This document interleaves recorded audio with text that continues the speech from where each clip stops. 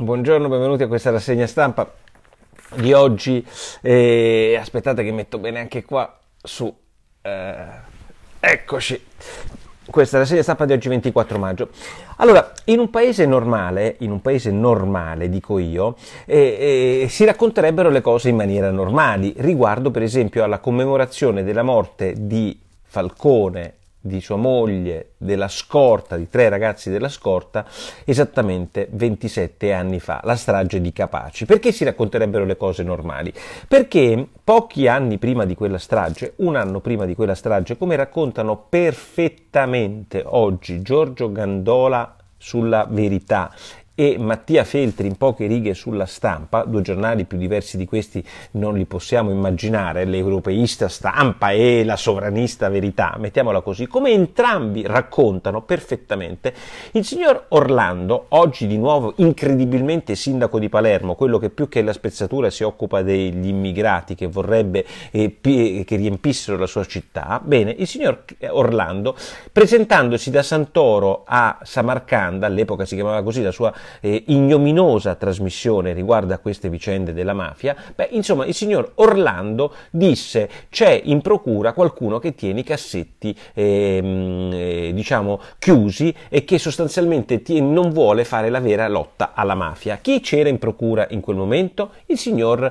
Ehm, eh, Falcone, poi ammazzato dopo un anno, non contento, come ci ricorda Mattia Feltri, dice questa roba qui anche in un'intervista dell'Unità. Falcone non era amato da tutti. Quando fu nominato e eh, portato a Roma dal ministro della giustizia Martelli, fu considerato dai suoi amici magistrati, dai comunisti, da una parte dei comunisti e da quegli specialisti dell'antimafia, una merda veniva considerato Falcone, tant'è che la sorella di Falcone ha detto riguardo a Orlando, ha infangato il suo nome, eh, la sua dignità, la sua onorabilità. E allora questo qui che non si presenta alle commemorazioni di Falcone dopo che per 27 anni ha fatto finta di essere l'eroe dell'antimafia, mentre di antimafia c'ha nulla se non il qua qua qua tipico dei politici, di alcuni politici di sinistra gesuitica eh, siciliana, ecco, questo signore che ieri non si presenta è semplicemente dovrebbe essere la fine di un percorso normale, perché lui con Falcone non aveva nulla a che spartire, così come non aveva nulla a che spartire con Borsellino. Il signor Orlando, professionista dell'antimafia, con questi qua non aveva nulla a che spartire. Un po' diverso se volete Fava, che anche ieri non si è presentato, un po' diverso certamente Musumeci, che ieri sera non si è presentato, ma il punto fondamentale fondamentale che questi geni della politica italiana non si presentano alla commemorazione dove c'è Mattarella, dove c'è Conte, perché c'è Salvini. Complimenti. Questi, è, questi sono gli eroi dell'antimafia a chiacchiere eh, siciliani, quelli che non si presentano perché c'è Salvini. Tra l'altro Musumeci, scusami, con quali voti sei stato eletto Musumeci alla presidenza della regione Sicilia? Forse qualche voto di questi orribili, eh, non mafiosi, ma leghisti l'hai preso anche tu, oltre quelli di For- Fratelli d'Italia che vuole allearsi allearsi con la Lega, perché oggi la Meloni in due o tre interviste dice che si vuole alleare con la Lega e vuole scansare mm, Forza Italia perché è troppo europeista. Me lo spiegate qual è il concetto per il quale non partecipate? Vabbè, leggetevi Gandola oggi sulla verità e Mattia Feltri se avete meno tempo sulla stampa perché la vicenda di Orlando che non si presenta alle commemorazioni di... Ehm, di Capaci è proprio il segno distintivo di quel filo rosso che io leggo uguale. Il presidente eh, Montante, l'uomo, l'amichetto della, della Marcegaglia, eh, per la legalità, eccetera, mh, mm, a cui hanno richiesto, mi sembra che l'hanno condannato in primo grado a 14 anni per associazione a delinquere. E il, mi sembrava Grog, come si chiamava, il presidente eh, degli aeroporti, non so, di Palermo, di Catania, arrestato perché faceva parte dell'anti-racket. Questi fenomeni dei professionisti dell'antimafia, da Orlando Orlando in poi, che comunque con la mafia non hanno mai, eh, voglio dire, di antimafia non hanno avuto mai nulla se non le chiacchiere che hanno fatto a tavola. Nel frattempo le persone morivano e combattevano contro la mafia. Non sono gli Orlando, non sono i Montante, non sono i Marcegaglia, non sono questi qua. Questi si facevano belli con l'antimafia, ma questo ce l'ha spiegato Sciascia, è inutile che lo spiego io. Gli Olanda, in Olanda hanno vinto i populisti, manco per niente, e i giornali, tra cui il Corriere della Sera, godono come dei ricci. In Italia non è possibile neanche dire cosa succede negli exit pollo e si dice che il cavallo sal, salvifico sta al 30%, mentre invece la zingara romana sta al 20%. Cioè le corse, sapete che ci sono queste famose corse in cui mettono dei nomi diversi con dei numeri che danno il senso dei sondaggi dell'ultima ora. Però si può dire a piena pagina che i, popol- i populisti non hanno vinto e hanno stravinto i laburisti in Olanda, godendo tutti quanti come dei ricci. Poi scopri che l'Olanda è un paese alla fine in cui i sovranisti hanno preso esattamente quello che hanno preso, preso l'altra volta. Certo, come nota giustamente qualcuno, non sono i sovranisti che erano in piazza con eh, Salvini, ma un altro sovranista che ha preso eh, quattro, mi sembra Battistini, oggi lo racconta bene, anche se con l'ironia di chi non ama i sovranisti, sul Corriere della Sera. Quattro seggi ai sovranisti su 26 seggi che sono attribuibili in Olanda contro i nostri 76. Ricolfi dice oggi una cosa interessante sul messaggero proprio perché Ricolfi, e cioè che pensa che, che non ha nessun pregiudizio nei confronti né di Salvini né di chiunque altro, mi sembra uno studioso serio, dice che inizia forse a sentirsi che è finito il momento magico di Salvini, quel momento che lo aveva portato al 35-36% nei sondaggi, non c'è più. Insomma, più indizi fanno pensare che gli opinionisti abbiano letto i, i sondaggi con i cavalli e sappiano di che cosa eh, sono pronti a fare gli italiani. Vi dico però che tutti questi sondaggi dicono che ci sono ancora tanti indecisi, cioè che siete voi che possono un po' cambiare le questioni anche per l'altro grande partito in questo momento del centrodestra, cioè Forza Italia, per cui oggi è arrivata l'altra grande cosa che succede sempre prima delle elezioni, e cioè l'antimafia che dice che è impresentabile Berlusconi. E perché è impresentabile insieme ad altri quattro candidati di, For- di, di Forza Italia, di cui peraltro uno Tatarella arrestato, che sarebbe un bel consiglio votare Tatarella che è arrestato senza secondo me nessun indizio per dare anche un segnale che in realtà non sono i magistrati che dicono le elezioni, ma sono i cittadini che scelgono i loro rappresentanti. Poi se verrà condannato condannato decadrà, ma nel frattempo i cittadini sono liberi di votare chi gli pare. Per, per, persino Tatarella, che per quanto mi riguarda è innocente, per quanto mi riguarda, poi potrebbe anche essere condannato e a quel punto i magistrati ci sveleranno quello che noi in questo momento dalle carte non capiamo.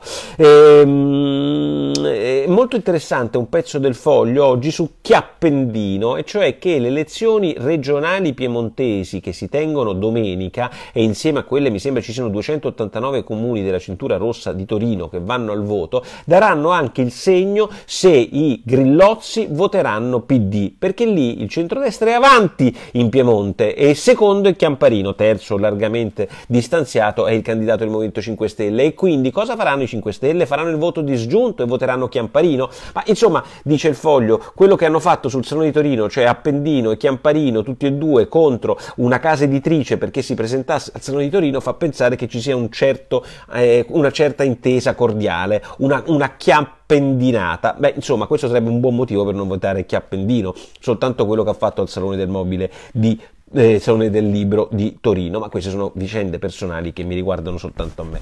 E, abuso d'ufficio, beh, qui ovviamente c'è lo strillone del Movimento 5 Stelle che, che grida come un pazzo no? Sulla legalità, su queste minchiate su cui lui è un fenomeno e racconta a Salvini tutte le cose e dice insieme a Di Maio, ispirato ovviamente dallo stesso Movimento 5 Stelle, che eh, dice come si chiama, non vi occupate di queste stronzate, dice Di Maio a Salvini che ha detto che bisogna cambiare la legge sull'abuso d'ufficio. Fantastica la vignetta di Osho oggi sul tempo che dice, eh, si vede eh, Di Maio che dice a Salvini nell'orecchio una cosa di questo tipo, con il nostro decreto abbiamo abolito la povertà e, e, e Salvini che gli risponde, ah, allora sono io quello che dice le stronzate e che trovo geniale. Ma comunque, a parte questa battuta, il punto fondamentale non state... Ah! cioè quello là, come si chiama, Travaglio, eh, quello che poi quando ogni tanto gli capitava anche a lui di farsi qualche, manife- qualche vacanza con i mafiosi. Vabbè, ma quando Travaglio si occupa dell'abuso d'ufficio e dice ma insomma è l'unico modo per non avere eh, se non incappare nell'abuso d'ufficio e non abusare dei propri uffici. Beh oggi bisognerebbe leggere un altro pezzo forse lo potrebbe leggere là il nostro Torquemada del Movimento 5 Stelle che è fatto sul, eh, da Bianconi sul Corriere della Sera che ci dice esattamente quali sono i numeri sapete quante indagini sono state aperte per questo reato dai confini labili e che nessun magistrato da Nordio serio in poi dice che ha un senso alcuno. Sapete quanti sono le indagini sull'abuso d'ufficio in Italia? 100.000! 100.000! I vostri processi, i vostre cause, i vostri eh, crediti nei confronti di chi non vi paga non vanno avanti. Sapete perché? Perché ci sono gli abusi di ufficio. 100.000 procedimenti di abuso d'ufficio. Un paese bloccato da inutili procedimenti. La stessa Raggi se ne sarà beccati 10 di abusi d'ufficio. Tutti i sindaci si beccano un abuso d'ufficio. Ma vi sembra una cosa normale, soprattutto poi in un clima in cui... Ah! Travaglio, appena uno si becca l'abuso di ufficio, se non è ovviamente del suo partito del Movimento 5 Stelle, gli fa un culo così. Cioè, ovviamente fanno un culo così soltanto a un abuso d'ufficio di Forza Italia, è morto. Un abuso d'ufficio da parte della, di, di, uno del PD è morto, della Lega è fucilato. Se invece uno come la Raggi, come il Nogarin o come la Chiappendino, vabbè, lì non ci sono problemi perché sono loro. Ma insomma, vogliamo cambiarlo sto abuso d'ufficio o no? Ma è talmente chiaro, lampante, secondo tutte le persone serie, tranne ovviamente quelle che hanno il paraocchio Così, l'occhio così, no? Come l'occhio così da Torquemada avete capito di chi si parla. Giornalista di Repubblica Menato e, e durante la manifestazione ieri che c'era a eh, Genova, la manifestazione funzionava così, che c'era Casa Pound che fino a prova contraria mi sembra che abbia la possibilità, io non condivido niente di Casa Pound, proprio non, non cioè sono, quelli per me sono dei comunisti, nelle loro ricette economiche, mi fanno orrore le loro nazionalizzazioni, non me ne frega niente di Casa Pound, chiaro? La premessa, ma avranno diritto a fare una manifestazione così come tutti gli altri se viene autorizzata? Sì, solo che non ce l'hanno perché quando Casa Pound fa una manifestazione arrivano gli antagonisti che gli vogliono fare un mazzo così. E siamo costretti noi tutti i cittadini a pagare i poliziotti che si mettano di mezzo tra i cittadini e gli antagonisti. C'era un giornalista tra gli antagonisti che voleva certificare quello che stava avvenendo e viene menato, preso a manganellate da un poliziotto. Ovviamente Repubblica si indigna come tutti quanti noi facciamo lo stesso mestiere, venire facendo il proprio mestiere menati da un poliziotto non mi sembra una cosa sana e giusta. Detto questo, il punto fondamentale non è soltanto il dito, cioè del poliziotto menato, eh, del, scusatemi, del giornalista menato a cui auguro una pronta guarigione, gli hanno spaccato un dito, le ossa, cioè robe non buone, non va bene. Il punto fondamentale è che non è possibile che se c'è una manifestazione siano tollerabili gli antagonisti che devono sempre fare, si chiamano antagonismo, devono fare il loro terrorismo, diciamo, spicciolo da eh, terrorismo urbano. Ecco, eh, questo mi sembra una cosa fuori, fuori di ogni eh, ragionamento, così come ovviamente fuori di ogni ragionamento che un giornalista per fare il suo mestiere vada a finire in ospedale. Direi che per oggi è tutto, noi ci vediamo come sempre, vi ricordate che domenica abbiamo lo speciale sulle, sulle elezioni? Sarà l'unico speciale che sarà, come possiamo dire, non eh, quel, quel, quello speciale ehm, come si, drammatizzante le vittorie o le sconfitte dei populisti, cercheremo di dire la nostra senza nessun pregiudizio nei confronti di alcuno. Ciao!